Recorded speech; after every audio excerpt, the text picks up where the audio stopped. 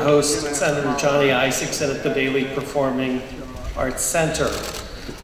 Senator Isakson is the only Georgian ever to have been elected to our state house, our state senate, the U.S. House, and the U.S. Senate, not to mention serving as chair of the State Board of Education.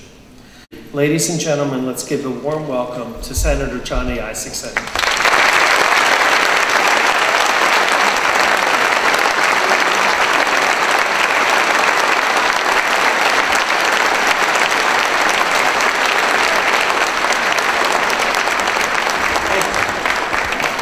Thank you very much, Sam Olens. I want to thank Kennesaw State University, Cobb County Police Department, Sheriff's Department, the officers in the Kennesaw State uh, Security Office, Sheriff's Department, Sheriff Neil Warren's here, Sheriff Warren and I go back as old friends years ago. All the other elected officials and officials in Kennesaw State, thank you so much on this busy first day of school for taking the time to host us and let us have this town hall meeting.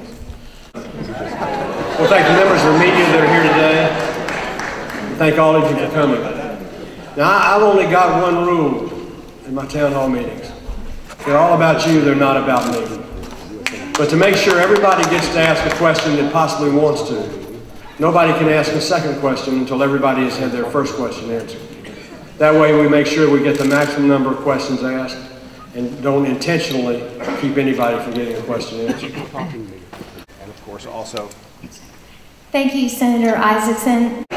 Thank you for holding this town hall and being willing to hear from constituents. I appreciate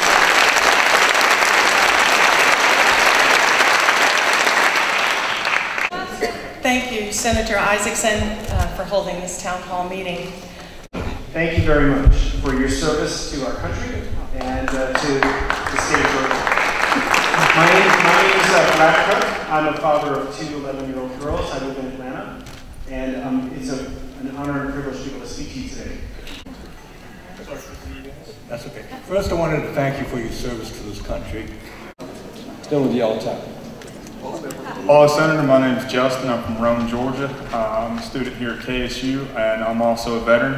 And before I ask anything, I just want to thank you on behalf of other student veterans for everything you have done and continue to do for support for us.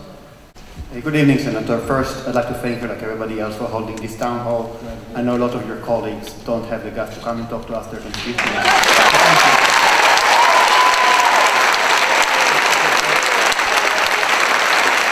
You know, a lot of people say, why are you doing this town hall? You don't need to do it. You're not up for an election. You don't have to do it. You don't have to do it because I represent you. It's your government, not mine.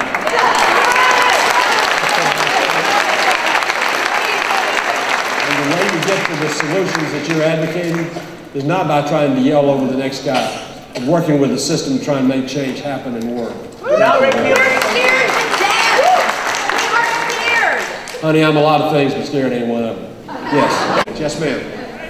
Um, I just want to thank you for having this um, town hall. I've never been to one before, but the atmosphere in my country makes me kind of nervous, and so this is the first one I've been to, so thank you for having me. Right back there, yes. Um, again, sir, really, we do thank you for hosting this town hall um, and exhibiting leadership on that issue because we've asked for town halls repeatedly and now we have one. It is outside the city center during rush hour, but I appreciate you being here.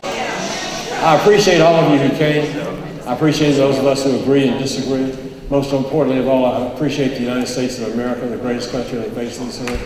You and I can make a difference, and I'll work with you to make that difference. The fact that we disagree does not mean we have to always disagree, and together we can come together and find solutions for all Americans.